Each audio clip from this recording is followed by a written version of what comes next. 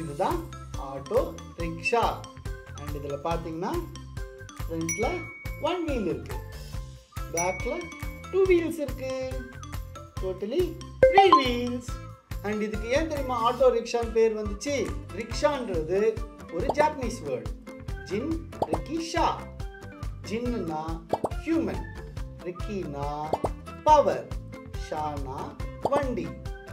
Humans பவரை வச்சு புல் பண்ணி இழுத்துட்டு போகிறதுனால ஜின் ரிக்ஷான்னு சொன்னாங்க. அதுக்கப்புறம் அதுக்கு டெவலப் ஆகி சைக்கிள் ரிக்ஷாவாக மாறுச்சு.